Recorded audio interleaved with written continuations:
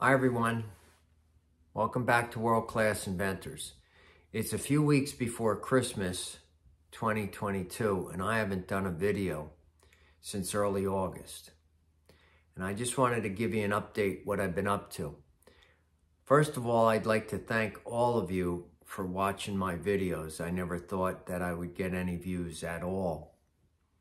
And my biggest seller is how to file an idiot-proof patent for $75. And that's up over 2,400 views at this point, and I'm astounded. So that means some of you guys out there are having ideas that are worthy of documenting and filing a provisional patent application to hold your date in line, a date certain, or a priority date. You have one year to file a patent. And that's good. That's commendable. I'm excited. I'm excited for you, of course. That's only the beginning. Once you progress a little bit, you're going to end up having to file a non-provisional or you're going to lose your place in line. We've already been through that and we've beat a dead horse over it. A year's time goes very, very fast for the inventor and the product developer. Don't be lax about filing your provisional and then just waiting and thinking you're going to file a non-provisional at the last minute. It doesn't work that way. There is much to do. So that's why I uploaded my book or a little promo. It's not even a minute and a half about the World Class Inventors Handbook. I really, really encourage you to read it because there's nothing like it out there, period. Certainly not by anybody that started off as a backyard inventor and ended up having a product that sold a couple hundred million dollars worth of inventory in Walmart like I did, and I changed the category, etc., etc.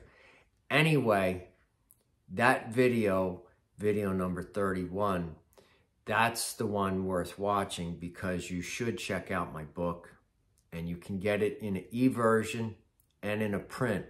And if I was you, I would get it in a print because the pages can be highlighted, they can be marked, they can be dog-eared, and you're going to use it as a teaching tool as a reference book on what to do and what to know. And it basically is my journey, in a sense, of becoming uh, an inventor who got a product out into the marketplace.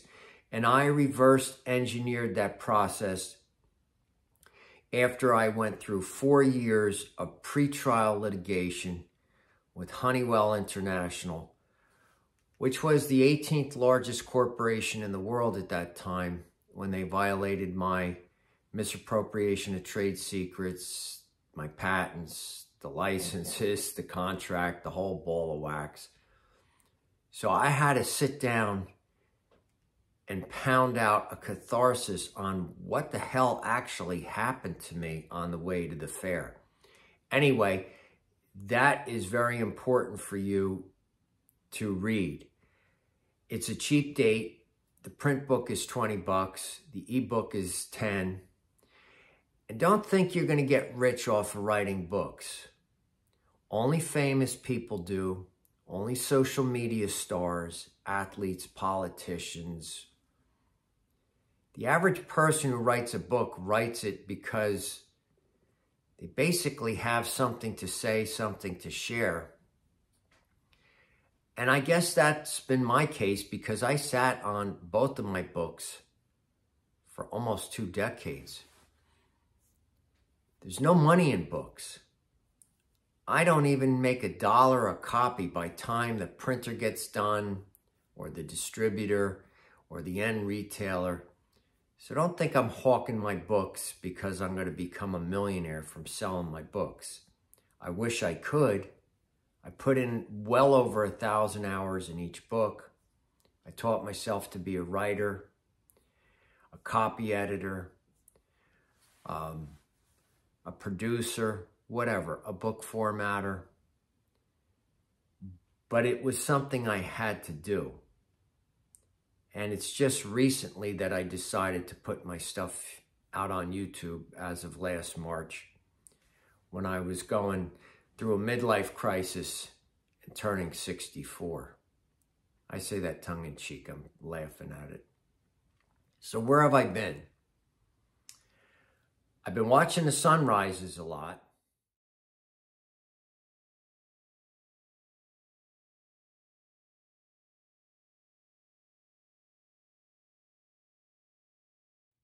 I've been fishing for striped bass. I'm wearing my striped bass fishing shirt. I just got back.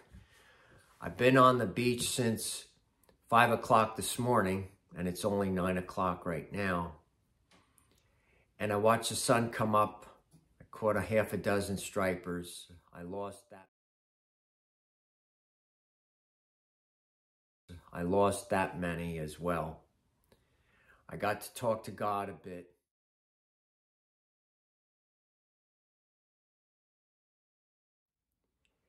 And I asked him if I could please be granted my notice of allowance.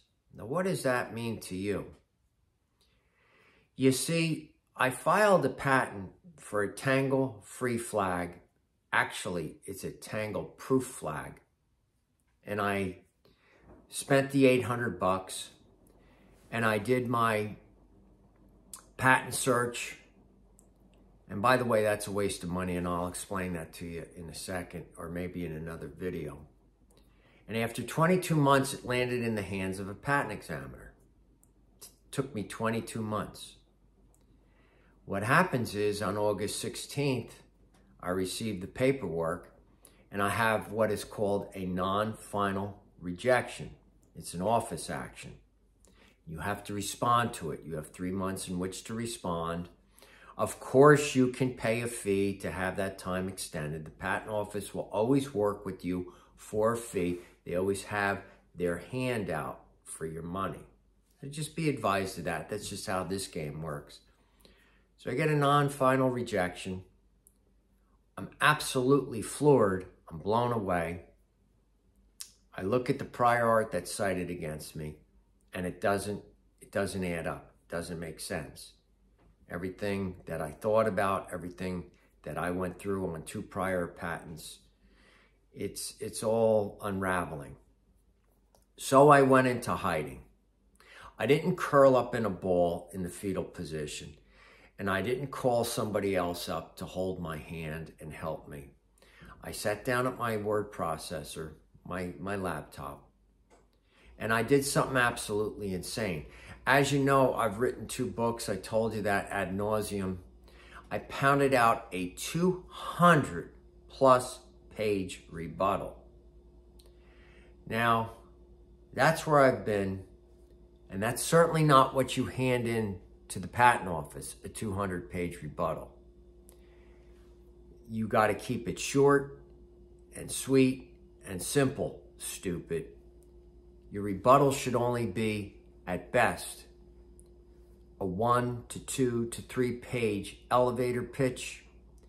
And then you have to address the claims that got rejected and you have to really have a come to Jesus moment and redo them. There is much, much I have to share with you. And that's where I've been. So I resubmitted my, uh, or I or I submitted my response to that office action with the short elevator pitch, two and a half pages.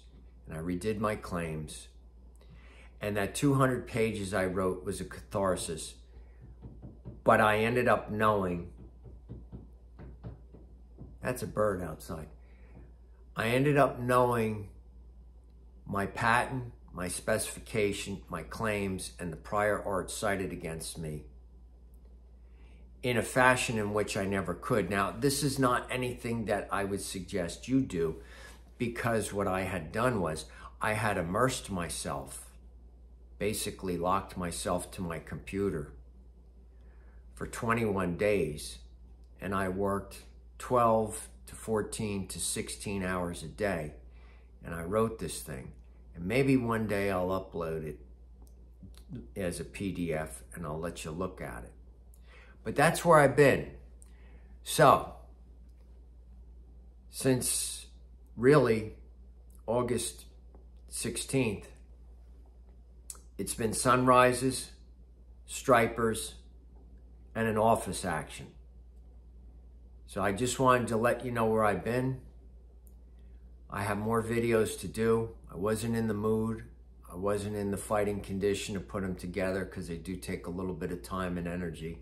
And I thought I'd share this with you. So have a great Christmas. I have a couple more videos that I should put out before Christmas.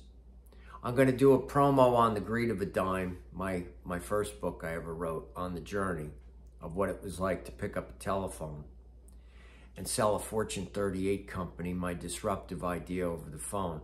I'm going to put that little one together for you as a promo.